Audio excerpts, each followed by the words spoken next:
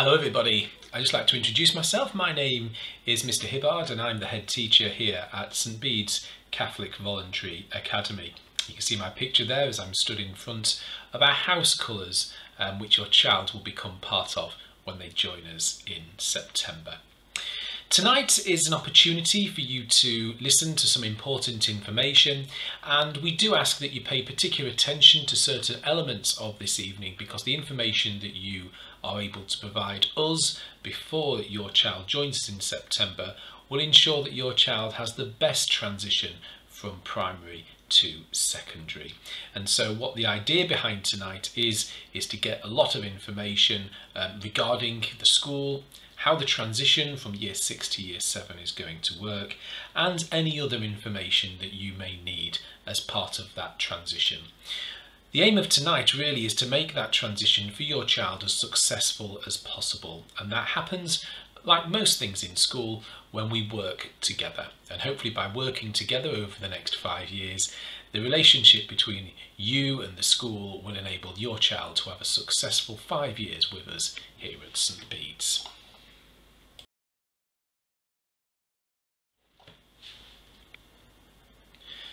Now, one of the things that makes St Bede's unique, and particularly in Scunthorpe, is that we are a Catholic secondary school, and as such, the centre of what we do is often around prayer. Now, we have a very straightforward and simple prayer at St Bede's, which we say at various points throughout the day. It's important to us because this symbolises what St Bede's is truly about. And so we ask that you join us in saying our mission prayer, which is on our screens. And as ever, when we join in prayer, we make the sign of the cross in the name of the Father, the Son, and the Holy Spirit. Lord, we commit ourselves to love, respect, and serve one another as disciples of Jesus Christ. St. Bede, pray for us. In the name of the Father, and the Son, and the Holy Spirit. Amen. Now, your child is coming to the start of their time here at St Bede's. And a few weeks ago, I spoke to the Year 11 students who are at the end of their five years. And I spoke very much about those three words that you will see on the screen love, respect, and serve. We believe here at St Bede's that if children obey and respect those three things, then it will enable them to succeed not only academically but also to become well-rounded individuals. And as I said to the Year 11s who left us very recently, if in life you think about how you can love, respect and serve people, then you won't go far wrong. And so those three ideals are important to us as a school and are as relevant to the new Year 7s coming up as they are to the Year 11s who are just leaving us at the moment.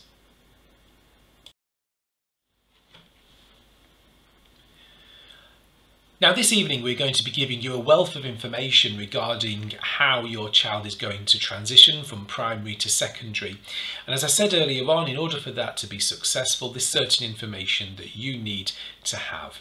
And so over the course of this presentation, myself, uh, Miss Charlotte Collins and Miss Barlow are going to go through quite a lot of information. Now I'm going to talk about three things which you can see on the screen. The academic structure, how we will report to you on the progress your child is making, and then also some important information regarding summer schools. So first and foremost, regarding the academic structure, probably one of the most common questions that are asked of secondary schools when children move from primary to secondary is that are you going to put my child into sets and how are you going to decide those sets? Well, here at St Bede's, most children are taught in most subjects outside of sets. So when pupils arrive to us in Year 7, the vast majority of lessons will be spent in mixed ability groups. However, there are some subjects which do have sets, and they are maths, English and science. Now the reason that we have sets in those three subjects and not the others is because those three subjects particularly we need to be able to differentiate the work and to be able to provide the appropriate levels of support and challenge for each individual child. But I often get asked the question, well, how are you going to set them? And especially at the moment with the world of COVID, your child did not have any SATs assessments this year. Those are the tests that often happen at the end of year six to determine how ready for secondary school your child is. Now, because of COVID, as you know, these did not take place. So when your child starts with us in September, we are going to do two assessments with them, both of which will be done on computer. The first is called a CAT test. Now the CAT test is not a test that you can revise for. They're similar to an IQ test. So for example, they will test your child's ability to do reasoning. They will also test your ability, your child's ability to spot patterns. And so across four different areas, we will have information that come out from the CAT tests. We will also assess your child's reading age. Now, as you know, reading is a fundamental part of being in primary school, and the reason for that is that it sets them up for being successful in secondary school. So much of what we do means that every child needs to have a good grounding in reading. So we want to know what is your child's reading age so that we can provide the challenge but also the support if potentially it is below their chronological age. We will also potentially look at some tests in a range of other subjects as well, especially those which have sets, so that again we can provide adequate amounts of challenge and support where necessary. So when your child joins St Bede's, what is it that they can expect to study? Well, we are really proud of our curriculum. Yes, pupils will spend some time doing maths, English and science, but that actually only accounts for around nine lessons a week. In fact, your child will be doing a range of other things. As a Catholic school, they will study RE, but they will also do subjects such as PE, drama, music, art, technology, history, geography and modern foreign languages. Indeed, here at St Bede's we believe that modern foreign languages are an intricate part of our curriculum, so much so that we expect most pupils to study a language when they move into GCSE. Now you might ask, well, how are we going to inform you about your child's progress? When you join us in September, we will talk to you about a package called Go for Schools. Go for Schools is a way that you are able to look um, at the website to track how well your child is doing. Throughout the year we have four assessment points and at each assessment point your child will have um, an ability to see whether or not they are working above, at or below their target grade. Also Go for Schools is the place where we will put all written reports for your child and so it is vital therefore that you have access to that package. The final thing I want to talk about before I hand over to Miss Charlotte Collins is summer schools. Now this year, which you've probably seen in the news, there's an awful lot being said about secondary schools opening over the summer to welcome children in to participate in summer schools. Now the summer school will work and it will start on Monday the 9th of August. During that week, only pupils of Year 6 will be coming into school and we will run a range of different things across the week. That will include some academic subjects where pupils are taught lessons, but it will also include an opportunity to see wider aspects of the curriculum, such as art, such as PE, such as cookery, potentially things like sewing. All these aspects which make pupils well-rounded individuals. Now the summer school is predominantly going to be focused on those pupils who wish to take part. If you wish your child to be part of summer school and there is no cost to this at all, then please follow the instructions that you should have received in the letter that was sent directly to you regarding summer schools. Now we do need um, a certain number of pupils to attend the school, summer school to make it viable. At the moment we have roughly around 15 pupils who are interested. If you are interested, please get in contact with us because if we don't have sufficient demand, then we may have to decide not to run summer school, which would be a shame. However, having said that, your child this half term will have an opportunity to visit St Bede's and to see what the school is like when they do their transition events this half term. I'm now going to hand over to Miss Charlotte Collins who's going to give you more information around Year 7. My name is Mrs Charlotte Collins. I am the head of Year 7 and I am pleased to introduce myself to you tonight to inform you about what my role entails and the support structure that we have in place here at St Bede's. Although current circumstances did not allow us to do this in person, I would very much like to welcome you to St Bede's and offer reassurance at this time. The move to secondary school is a very important step in the life of every young person. It is also an exciting step, but one that can be confusing and a little overwhelming at times. Here at St Bede's, we aim to make the transition as smooth and as enjoyable as possible. My role as head of Year 7 is to oversee the transition of all of our Year 7 students as they journey from primary school to joining our school community.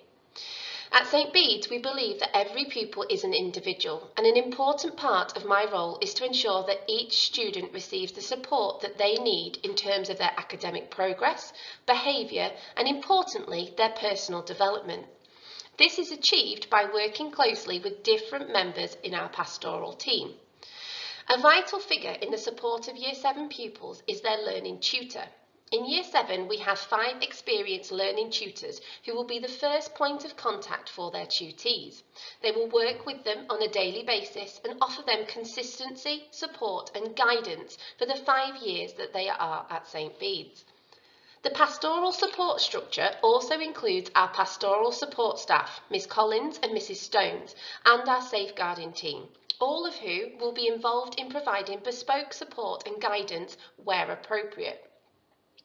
To further support the transition for the class of 2026, a transition website has been created. It is packed full of important information about our school, including virtual tour, a chance to find out about the Year 7 tutors, um, and you can find this transition website by clicking on the Year 6 transition button on our main school homepage.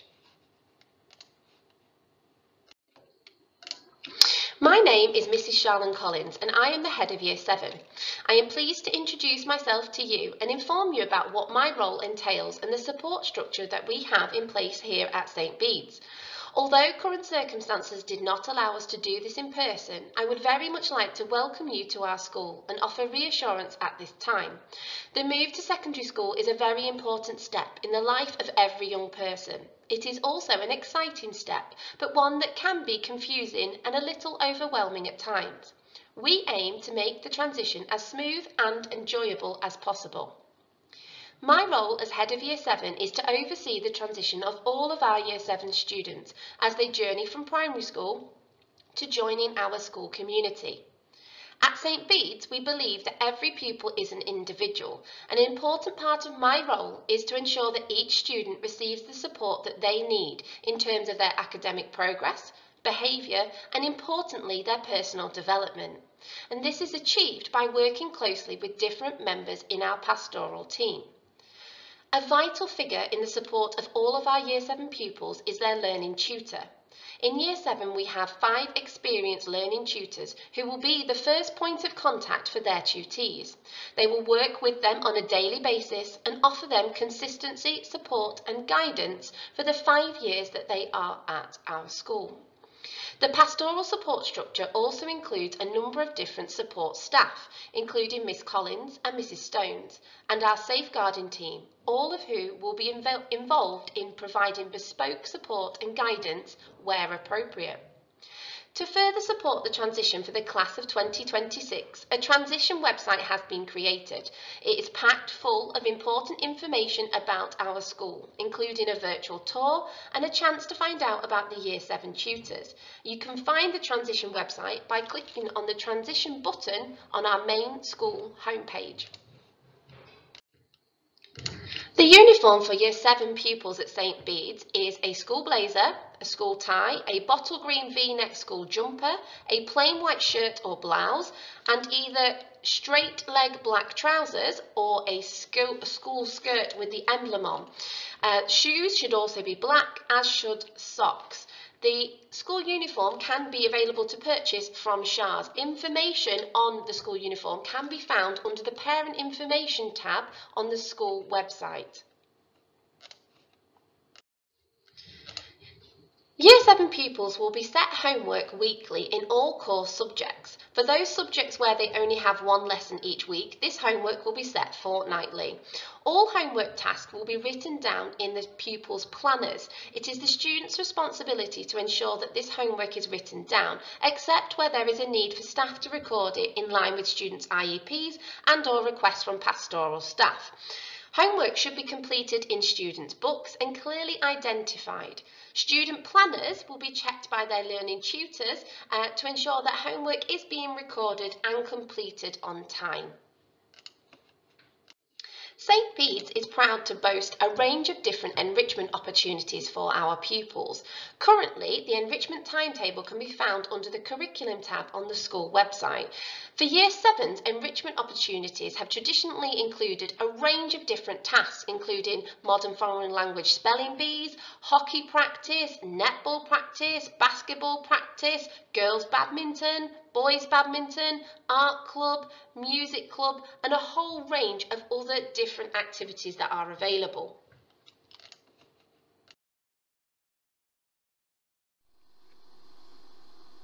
Hello and good evening on this absolutely beautiful night.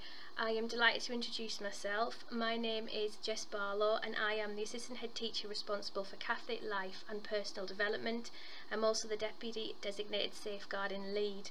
Part of my role within the school is to oversee transition and so that's why I am meeting you, albeit virtually this evening. Um, it's also to try and make this first part of the journey an enjoyable one for the young people joining us in September as parents it's quite daunting to send your child off onto the next step. Um, you know and actually this is quite a major milestone. My job is also to support you and to support the families and help alleviate any worries or concerns that you do have. There's an awful lot of information being given tonight and it is also available on the website for you to go back and check at any point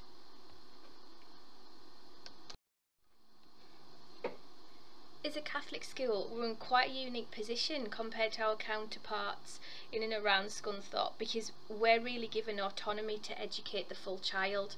It's it, it's part of our mission. It's not just something that it's an added extra, but it really is the fabric of, of what we believe. Academic success is absolutely of huge importance to us and it always will be but what we will also focus on well as well is the the nurturing side of this we allow for personal growth and we do this in a very safe and very forgiving environment. And that's what perhaps sets us aside. A lot of people have that question what is so different? What makes it something? Why would you send somebody to a faith school? And what I will say is it absolutely is our culture our ethos and because of that our staff team as well have a drive and have a passion to ensure that the children leave here with the best possible results and feeling like a, a full and rounded person. For many people who will join us in September, you will have come from one of the feeder Catholic schools or perhaps one of the Christian schools. So you will have a faith background and you will have an understanding of what we do within the school. Uh, what we will do over the next five years then is allow you to deepen your relationship with God.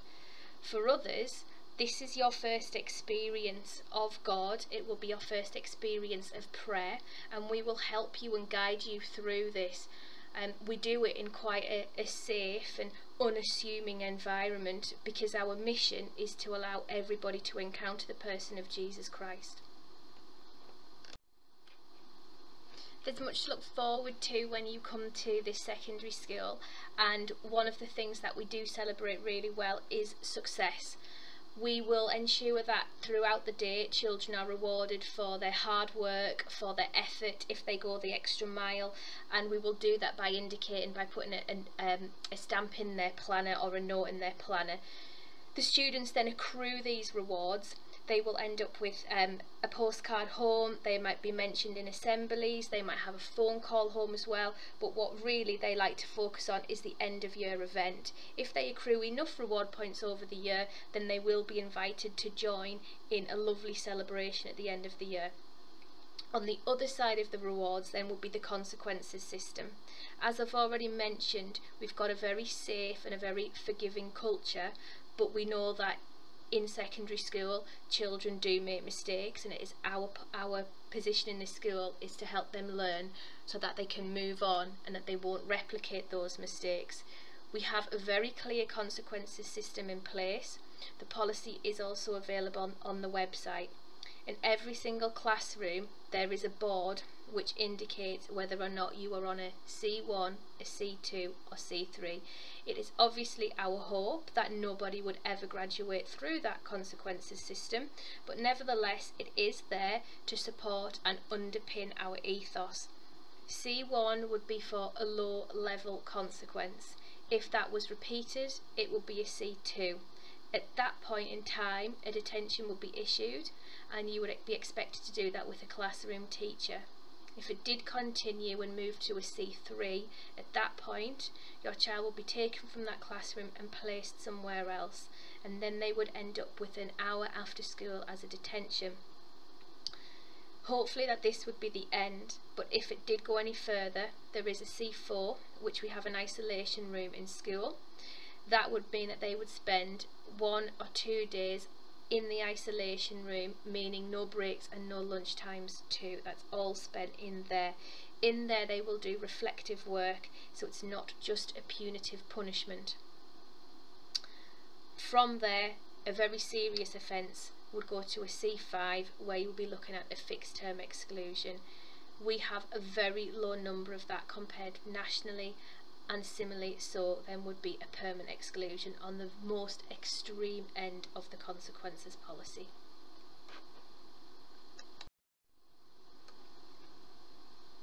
So when we look at the transition this year, we are delighted that we are still going to be offering face-to-face -face transition although this might not be packaged in the usual way where we we would bring all 21 primary schools together on one day and then everyone would be able to meet each other and their learning tutor Instead, what we will have is a five-day transition where primary schools have been invited on certain days and this is to reduce risk and minimise any crossing of bubbles between primary schools.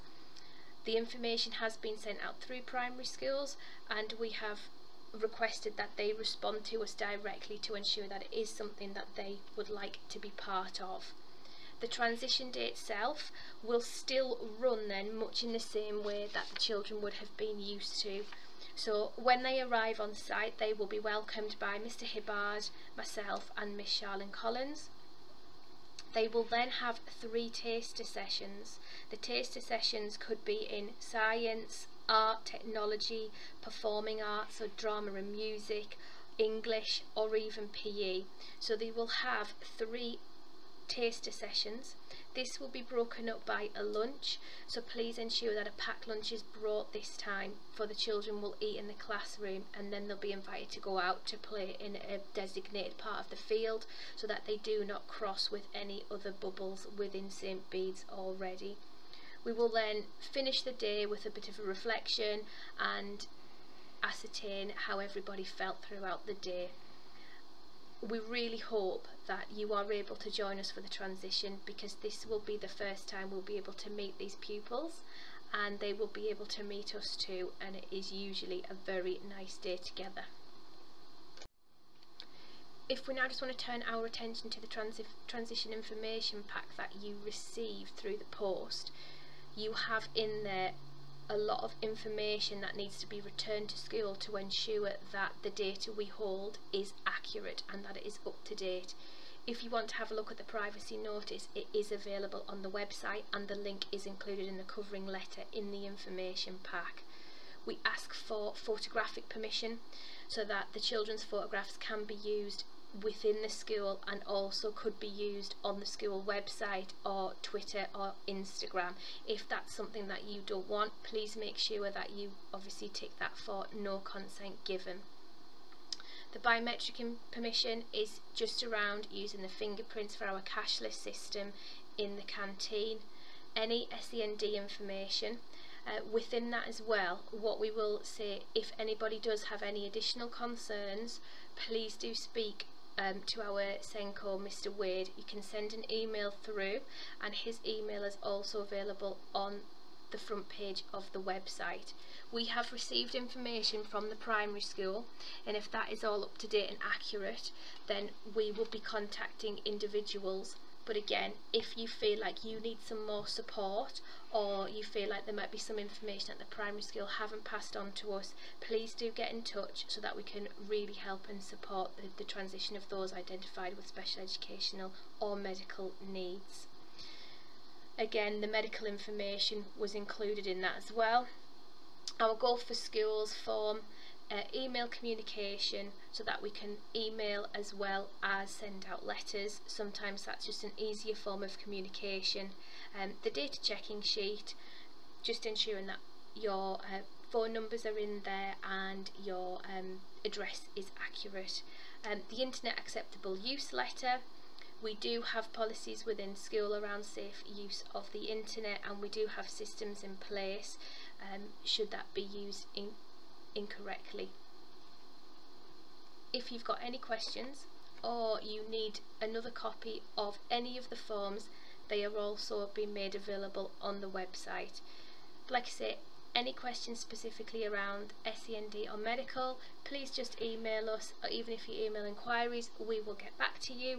Or if you've got anything else or any further questions, please do not hesitate to get in touch with the school and then I will respond to you.